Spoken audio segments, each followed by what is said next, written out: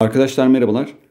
Bir soru yorumda analitik geometri sorusu çözeceğim size bir tane. Burada tabii çember bilgisi temel düzeyde var. Çember analitiği sorusu değil bu baştan söyleyeyim. Zaten TYT sorularından eski YGS sorularından da göreceksinizdir. ÖSYM gerçekten e, çemberle analitiği birleştiren sorular soruyor. Güzel bir şekilde soruyor. Hatta 2019 AYT'de sorulan soru gerçekten sağlamdı bu anlamda. Çember analitiği bundan bağımsız. Orada biraz daha formül odaklı ve o formülü kullanacağımız sorular soruyoruz. Bir soruyu durdurup çözmeye çalışın. Sonra da ben çözeyim arkadaşlar. Verilen bilgiler çap AO, K noktası eksi 1, 2 ve 45 derece var. Buna göre B noktasının apsisini bulacağız. Şöyle bir yorumda bulunacağım arkadaşlar. Bir çemberde şöyle çap zaten verilmiş oluyor. Bir de bu çapa bağlı bir kiriş verildiğinde ben şu kirişi de çizmeyi düşünürüm. Her zaman değil ama aklımın bir köşesinde durur. Bunu söylemiş olayım.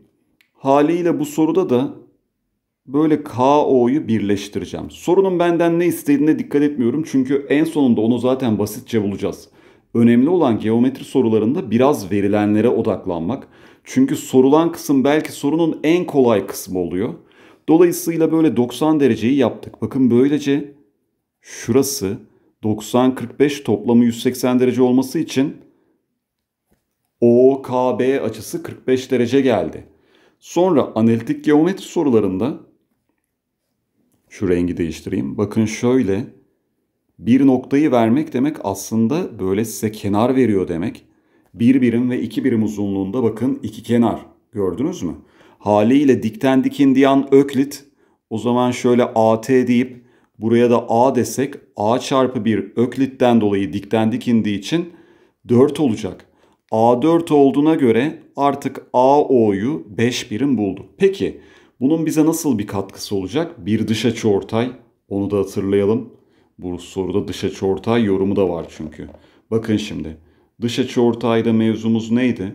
Şöyle dış açıortayın bittiği yeri işaretliyoruz. Şöyle bir K noktası olsun. Üçgenin köşeleri de A ve B köşeleri olsun. KA'nın KB'ye oranı arkadaşlar şöyle kenarların oranına eşittir. Dış açıortayda kafanız karıştığı an hemen dış açıyı ve açıortayı işaretleyin.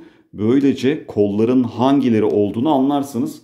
Dış açının bağlı olduğu iç açının kolları bizim bulmak istediğimiz x ve y kollarıdır. Dolayısıyla bunların oranı KA'nın KB'ye oranı olacak. Haliyle 1, 2, Pisagor'dan KO kök 5.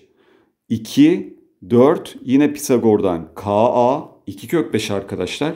Bakın KO'nun KA'ya oranı 2 kök 5 kök 5'ten 1 bölü 2 oldu. Dış açı ortay B'de bitiyor. Nereye kadar? BO'nun BA'ya oranı 1 bölü 2 olacak. O zaman ben BO'ya x dersem BA'ya 2x demeliyim. Haliyle bakın AO'ya x kalır. AO'yu zaten demin biz 5 birim bulduk. Böylece x de buradan 5 olmuş oldu. Bu şekilde arkadaşlar hem eski bilgilerimizi bir hatırladığımız açıortay hem de analitiğin sadece böyle dik indirdiğimiz zaman dik kenar, dik üçgen hatta öklit oluşturma durumunu kullanmış olduk. Böyle güzel bir yorum sorusu. Diğer yorum sorularında görüşmek üzere arkadaşlar. İyi çalışmalar.